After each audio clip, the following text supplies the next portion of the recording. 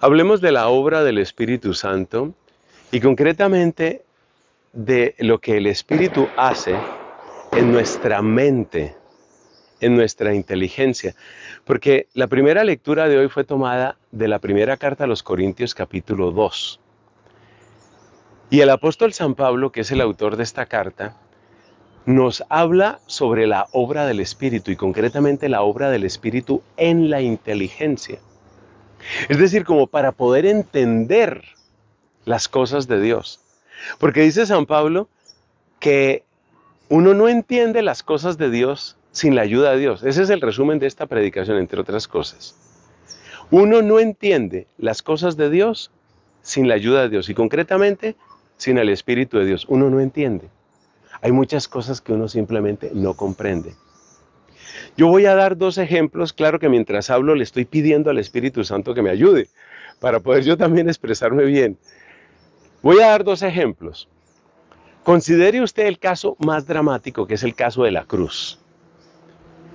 ¿Qué sentido tiene que una persona se deje torturar de esa manera? ¿Qué sentido tiene que una persona traicionada y abandonada no haga nada para defenderse?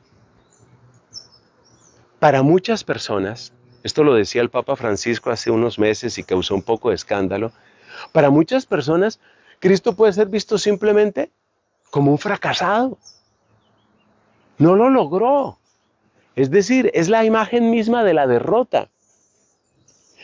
Tan es así que muchas personas, bastante más de las que yo quisiera, tratan de evitar la cruz. Estoy hablando dentro de la Iglesia Católica. Ya se sabe que fuera de la Iglesia Católica hay muchos enemigos de la cruz. Pero dentro de la misma Iglesia Católica hay una cantidad de gente que está rechazando la cruz. Y entonces es a no predicar de la cruz, a em, no presentar el crucifijo. Son esas típicas imágenes de Cristo donde aparece el resucitado, dicen ellos, aunque nadie sabe cómo es el resucitado. Y las llagas de Cristo no aparecen. ¿Sabes qué hay detrás de todo eso? Que el misterio de la cruz es incomprensible y terminamos rechazándolo. Terminamos sintiendo que, que, no, que no nos cabe, que, que no nos interesa, que no nos gusta. No lo entendemos. Ese es un ejemplo. El otro ejemplo, que no es menos dramático, es el ejemplo de la Eucaristía. Incluso cristianos pero cristianos no católicos, incluso cristianos lo rechazan. Les parece absurdo. Y dicen tonterías, hasta blasfemias dicen. Les parece absurdo, no como así. Estoy hablando de cristianos que niegan lo que está tan claro en la escritura. En la escritura dijo Cristo, esto es mi cuerpo que será entregado por vosotros. Esto es mi cuerpo, es decir, no deja margen de duda. ¿Por qué lo cambias? No deja margen de duda, está dicho ahí. Pero es que no nos cabe en la cabeza. Es decir, que Dios se haga hombre, que sea verdadero Dios y verdadero hombre, ya no nos cabe en la cabeza. Pero que luego ese Dios humanado nos ame tanto que quiera quedarse para siempre, para siempre en la Eucaristía. ¡Wow! Demasiado. Como dicen los jóvenes hoy, too much. No, demasiado. Hasta ya no. Esa no la logro recibir. Y por eso la adoración eucarística, aunque está creciendo en muchos sitios, en muchos otros sitios, pues ha desaparecido. Adorar a Cristo en la Eucaristía. Entonces, si me explico por qué es tan importante pedir el Espíritu Santo de Dios. Porque el Espíritu Santo llega a hacer comprensible lo incomprensible. ¿Y sabes por qué? Porque el nombre del Espíritu Santo, bueno, tiene tantos nombres, lo llamamos el don, lo llamamos fuego, viento, vida, pero uno de los nombres del Espíritu Santo es, el Espíritu Santo es el amor. Si tú quieres saber por qué está Él en la cruz, la respuesta se llama amor. Si tú quieres saber por qué te aguarda en el sagrario, la respuesta se llama amor.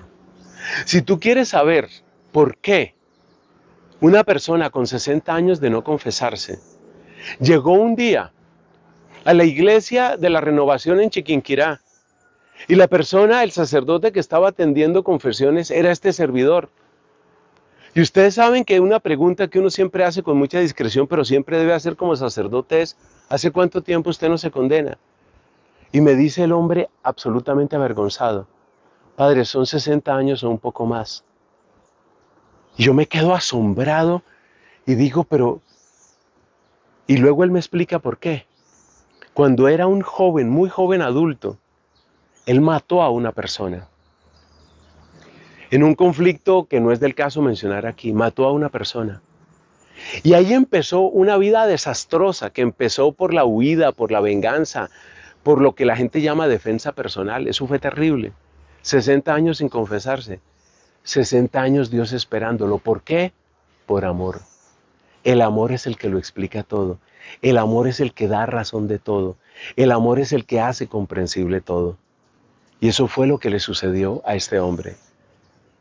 ¿Por qué la cruz? ¿Por qué la Eucaristía? ¿Por qué la confesión? Porque nosotros amamos a nuestra iglesia. Es que no nos damos cuenta que hay defectos en los sacerdotes, en los obispos, hasta en el Papa. Es que no nos damos cuenta, claro que sí. ¿Y qué quieres que haga? ¿Que vaya y funde una iglesia en cualquier garaje? No, yo me quedo en mi iglesia. ¿Por qué? Porque hay amor. Porque el Espíritu Santo es el que me da esa certeza de que más allá de las llagas está la resurrección. Preciosa, preciosa enseñanza de San Pablo que yo creo que jamás perderá actualidad, porque los misterios de Dios rebasan no solo la mente de nosotros, sino rebasan la mente de todos los que vengan. Nadie, nadie puede explicar a Dios, pero el amor lo hace comprensible. Que Dios te bendiga.